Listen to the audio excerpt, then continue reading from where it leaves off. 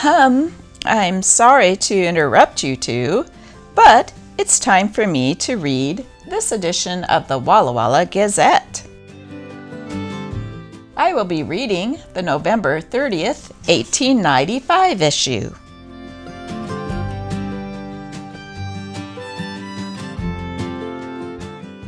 The Social Whirl, the Masked Ball. A right jolly evening was what everybody experienced who attended the masked ball at Union Hall Wednesday evening, given under the auspices of the Tiger Engine Company Number 1. The number of maskers on the floor was equal to the accommodation of the room, while the chairs and benches were all occupied with interested spectators. When the masks were removed, prizes were bestowed as follows. Best Dressed Lady, Miss Anna Bender as Flower Girl. Prize a Nutcracker Set. Best Sustained Lady Character, Miss Pearl Roth as Topsy.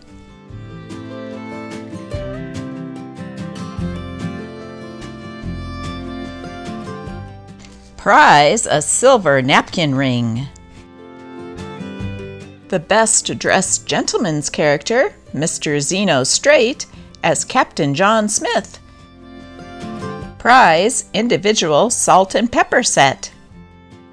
Best sustained gentleman's character, John Lambert, as the clown on Donkey Back. Prize silver napkin ring.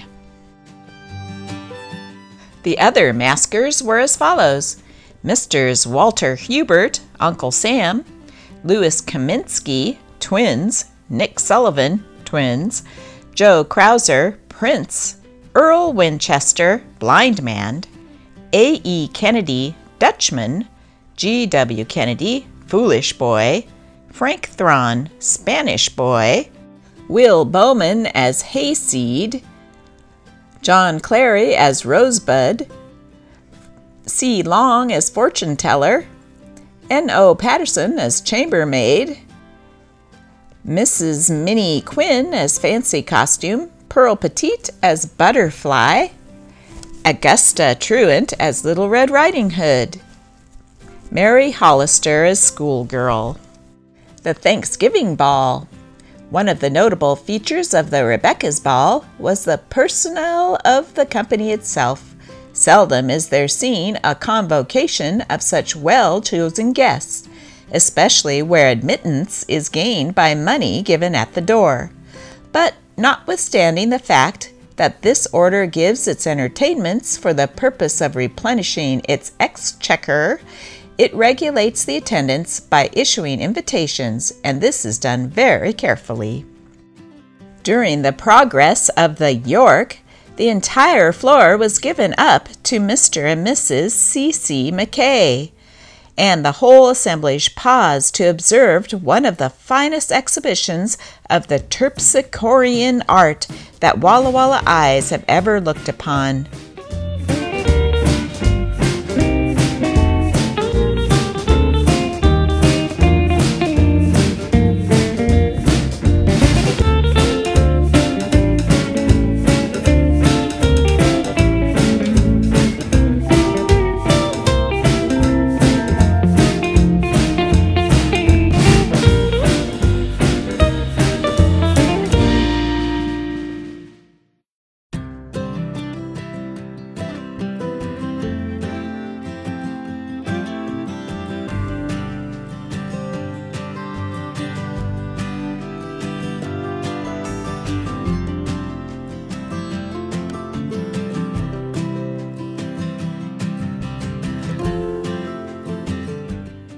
Convicts escape.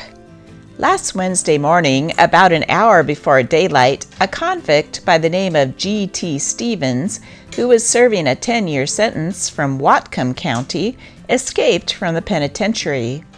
Stevens was in the hospital, and by means of a fork and a stove lifter, which he managed to get into his possession, he made a hole through the wall of his room, large enough to crawl through. Then, by making his way to a point in the wall covered by a dark shadow, he scaled the wall by means of a ladder that he had constructed from material found in his cell and bedroom. As it was so near day, his absence was soon discovered, and guards were sent out to scour the surrounding country. After being at liberty for five hours, he was found about ten o'clock, only two miles distant, secreted under a bridge. James McManus, a convict sentenced from Spokane for one year, made his escape on the 19th, but the matter was kept quiet by the officials until Wednesday. McManus was a trustee employed in the dining room of Warden Musgrove. During the absence of the family on the evening of the 19th, he donned a new suit of clothes, the property of the warden, and walked to the city. He has not been heard of since. The Vienna Coffee House will serve hot chicken tamales today. They are made under the direction of Mrs. A. Ricardo, who learned the art in the city of Mexico. For a delicious ham or fine breakfast bacon, go to Beck and Brandt's. Thoroughbred Poland China hogs, imported and from imported stock large or small, for sale at reasonable prices at my ranch. Address Samuel Drumheller, Walla Walla Wash. That Pumpkin Pie. In a downtown restaurant in Chicago, John Gilmore sat at his dinner. With a very discontented expression of countenance, he was jabbing with his fork a piece of pumpkin pie, which he had just ordered, seemingly determined that that particular piece should never know another victim. His thoughts ran something to this wise Call that pumpkin pie a yellow skin over a piece of soggy dough?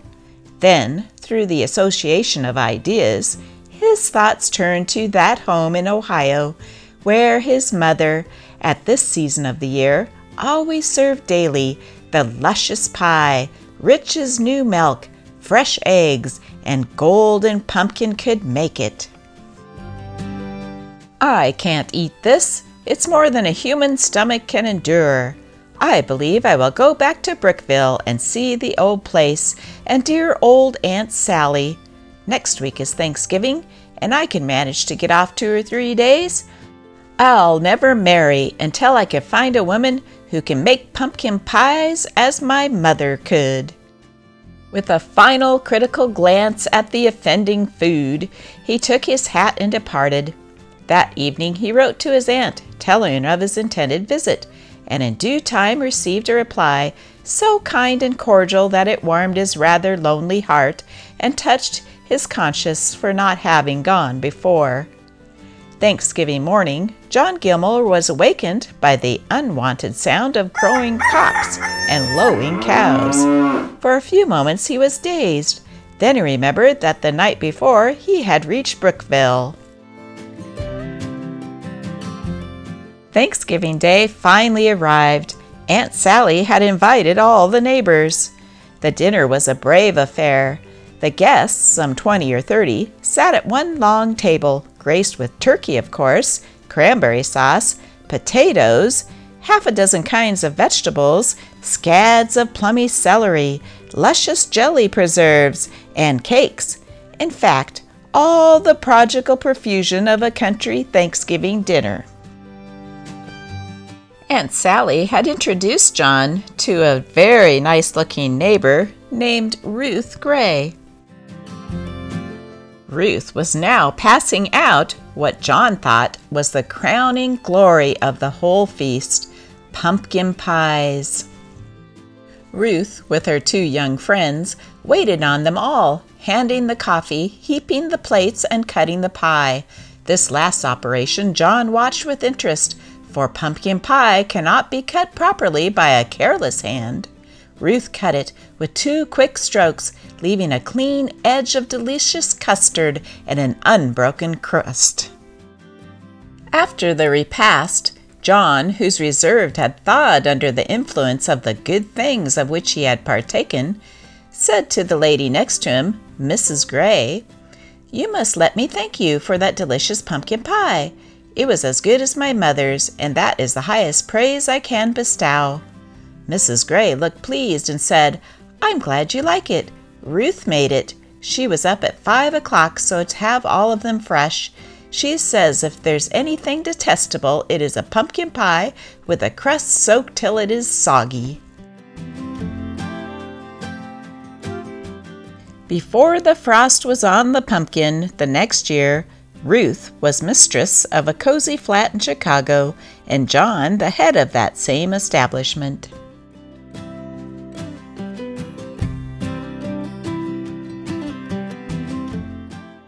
You enjoyed hearing today's stories from the Walla Walla Gazette, you can subscribe to my channel. It's easy. Just click here to subscribe.